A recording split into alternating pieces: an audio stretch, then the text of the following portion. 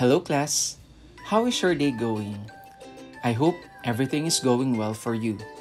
It's me again, Sir Noel, as your virtual teacher, helping you to clarify the third quarter business finance topics.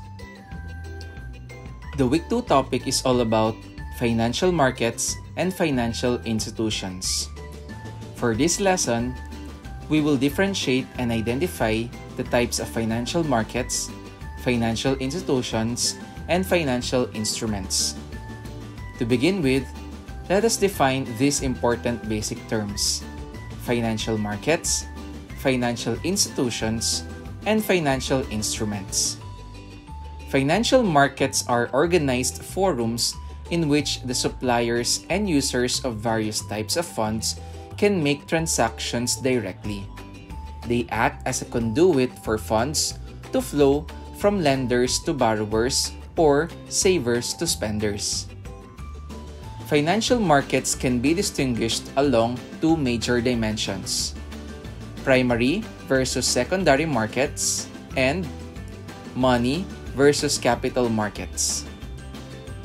Primary markets are markets in which users of funds, for example, corporations, raise funds through new issues of financial instruments such as stocks and bonds.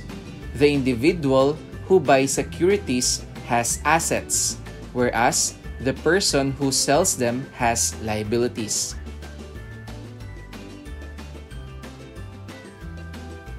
Secondary markets are like used car markets. Secondary markets are markets for currently outstanding securities, referred to as secondary securities. These securities were previously bought and owned and are now being resold either by initial investors or those purchased in the secondary market. Money markets cover markets for short-term debt instruments, usually issued by companies with high credit standing. They consist of a network of institutions and facilities for trading debt securities with one year or less maturity.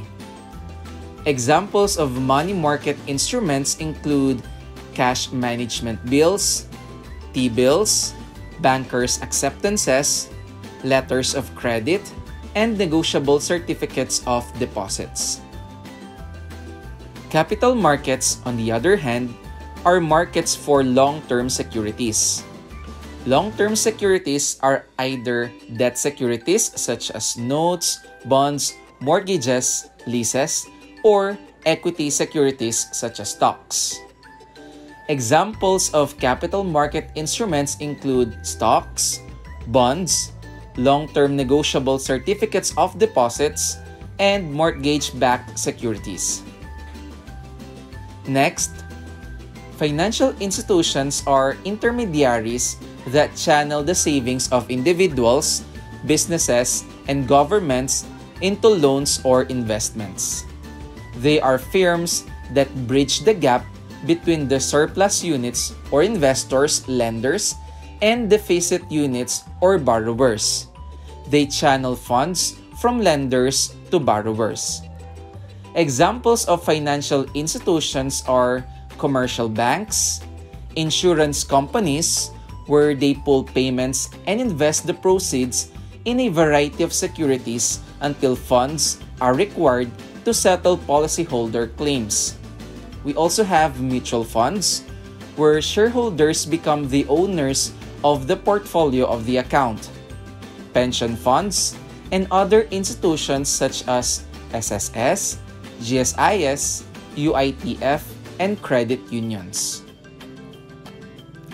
The BSP or the Bangko Sentral ng Pilipinas supervises all financial institutions.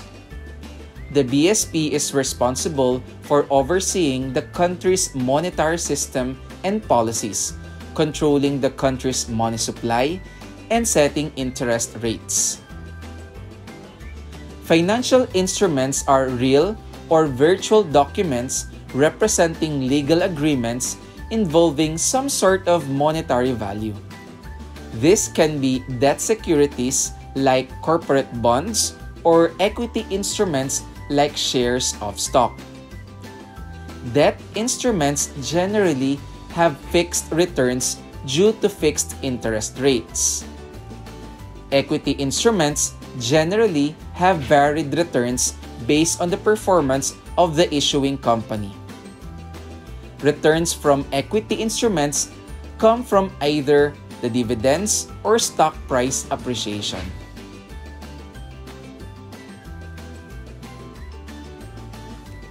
There are two common types of corporate stocks common and preferred stock.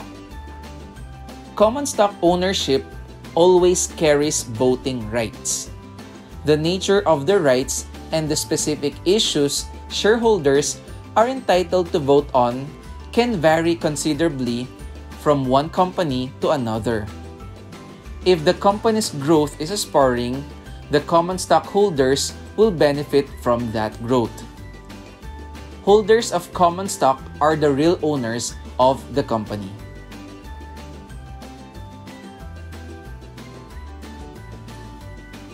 I hope this video has helped you analyze and answer your modified assessment.